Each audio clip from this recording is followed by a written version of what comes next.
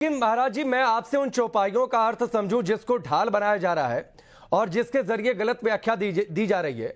लेकिन उससे पहले एक बात मैं ज़रूर आपसे जानना चाहता हूँ कि आखिरकार ऐसे नेताओं के दिमाग में क्या चल रहा है? स्वामी प्रसाद मौर्य या फिर बिहार में इससे पहले इस तरीके की बातें हुई? वहाँ के शिक्षा मंत्री ने रामचरित मानस की चौपाइयों का आधी अधूरी चौपाइयों का उल्लेख किया था।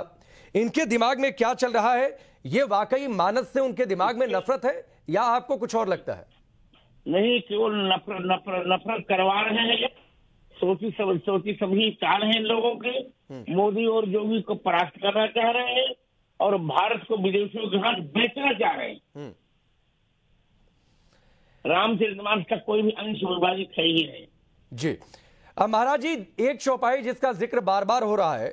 प्रभु भल किन्न मोहि सिख दिन्नी मर जादा पुनि तुम्हारी किन्नी। ढोल गवार शुद्र पसुनारी सकल ताड़ना के अधिकारी। इस चौपाई का ज़िक्र करके बार बार इसे दलित और नारी विरोधी बताया जा रहा है। नहीं, ये यहाँ तारण शब्द का अर्थ शिक्षा इस सुंदर कांड के उनसठवें दोहे की पांचवी और छठवीं पंक्ति है।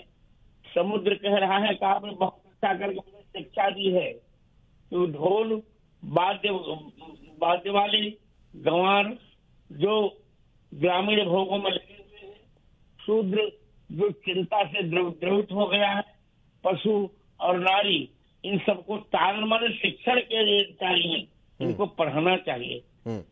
ताड़नम शिक्षणम स्वामी प्रसाद के बाप ने भी अर्थ कौटिल्य को देखा नहीं होगा।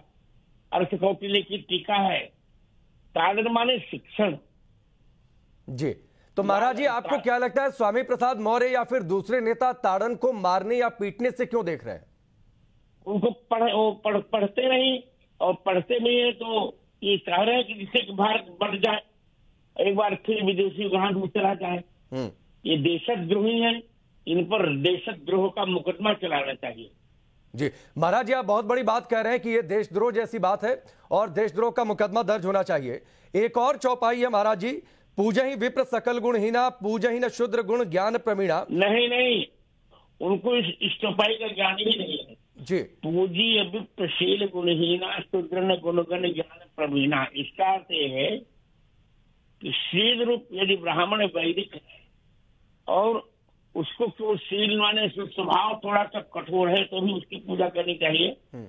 और शूद्र जो चिंता से द्रवित हो गया है असंतुलित हो गया है वो गुणगण ज्ञान प्रवीण हो तो भी उसकी पूजा नहीं करनी चाहिए। ये नहीं लिखा कि ईश्वर शूद्र ने ईश्वर प्रेम प्रवीणा ईश्वर प्रेम में प्रवीण तो शूद्र की पूजा होती है इसीलिए रामचंद्र जी स्वयं सौरी का बैर खाए निषादों को गले से लगाया कोल किरातों को गले से लगाया।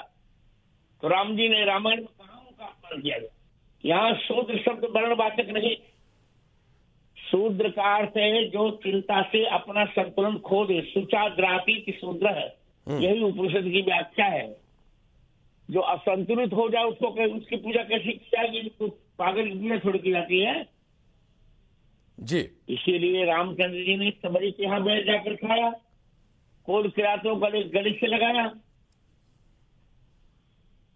जी महाराज जी एक और चौपाई है महाराज जी जिसमें ये लिखा गया है कि अधम जाति में विद्या पाए भयऊ जथा अहि दूध पियाए।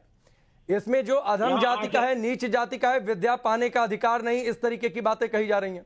नहीं नहीं। अधम जाति में विद्या पाए का तात्पर्य है कि जो आचरण से अधम हो जाए वो विद्या पाने पर मदान हो यहाँ आचरण पर व्याख्या है जन्मना जन्मना व्याख्या नहीं इसे रामचंद्र हम कहते हैं दुर्भाग्य बात है।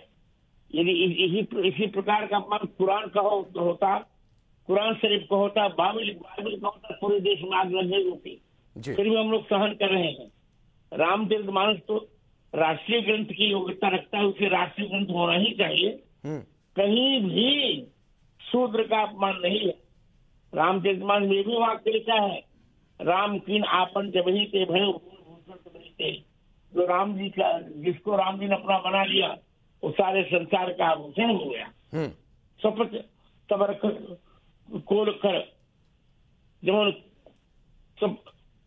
समर समर समर कोल और जवन तथा किरात राम के पावन प्रमुख विख्यात हम्म। प्रसिद्ध होकर के भी व्यक्ति राम का कर हो जाता है जी कहीं भी शूद्र का अपमान गोस्वामी